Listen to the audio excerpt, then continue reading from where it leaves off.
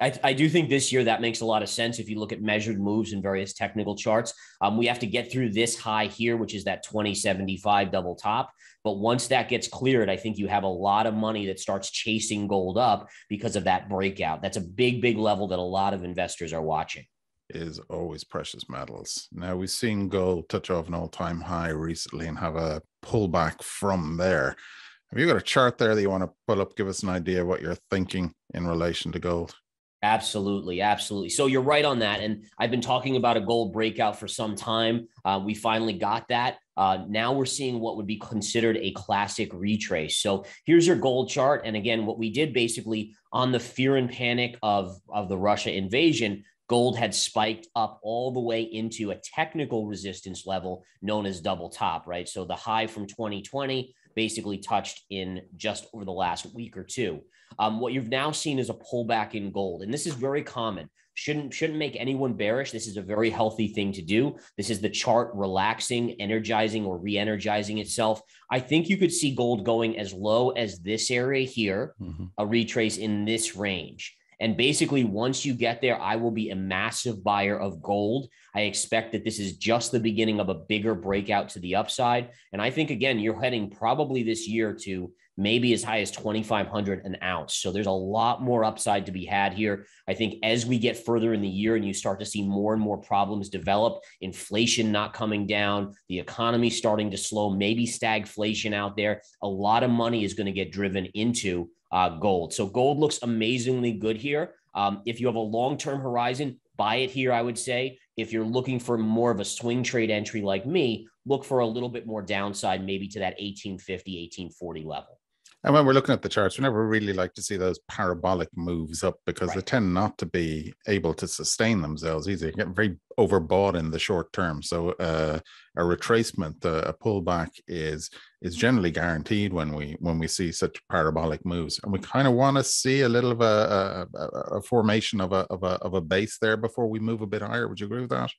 Yeah, I would. I would. I think I think retracing to what we call the scene of the crime, which is the initial breakout area, which was right in here, that's really helpful for a chart. It makes it a stronger chart to have done that. And then you can get energy. I mean, basically when it pulls back, think about a springboard. You're pulling that rubber band more and more and more, gets here, and then it can rocket to the upside. And so I, I do think that that's key. I think we'll then break out above this high and I think I've talked to you about this in past interviews, but if you look at the 1970s when you had that high inflationary period, gold has behaved exactly like it did back then. You had mm. the hmm. 2018 to 2020 move, which mirrored 73 to 75. You then had 2020 to 2022, which is the consolidation we saw. That was 75 to 77. And now we've started the bigger breakout, which from 77 to the early 80s, you basically, I mean, you ripped from really, I mean, it was, I think it was around $100 and change to almost $900 an ounce back in the 70s.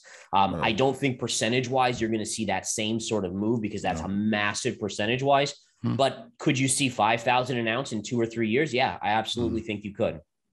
But 2,500 an ounce, you think is potentially on the cards for 2022?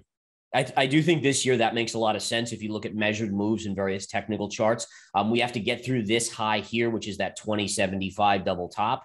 But once that gets cleared, I think you have a lot of money that starts chasing gold up because of that breakout. That's a big, big level that a lot of investors are watching. Um, and finally, let's finish up with silver. Absolutely. So silver's had a nice little short-term breakout. It's doing the same sort of retrace here. So I think we have to be aware of that as well. And I think this is the same situation as gold, where you had this breakout here. Now it's a little bit of a different chart, right? Because mm. if you look at the gold chart, gold was basically back up to its 2020 highs. So gold was up here versus silver is only back here. But having said that, you still have seen a breakout of this downsloping trend line uh, here. So what I think you look to do is you look to buy $24 an ounce on silver right here, and then you look for the next move up, which I do think the next move up takes us back to this 30 double top right there. So it's a nice move. I mean, $6 move maybe in, in a matter of a month or two gives us about a 25% return on silver potential for that level. And if you really want to be a disciplined, disciplined silver trader, what you would do is you'd basically keep a stop on any close you know, right below this trend line, right? So if you're buying at 24, you're risking about $2 to make $6 on the upside. And I think that risk reward is very, very healthy. So a price target if we break the if, if we break that level, but you know 30 is on the cards again. Yeah, yeah. So I think again, buying 24, you see 30. Now, if it breaks 30, which eventually it will, that's tougher to know how high it could go. Um, I don't know if you get a, a, kind of a repetition of what we saw years and years ago of that crazy move to the upside. I think I can go to the, my let's go to the monthly chart here. I mean, this was just absolutely remarkable. But I mean, in, interestingly enough, right? We could almost look at this chart and say, well, look at this. Here was your high, here and here.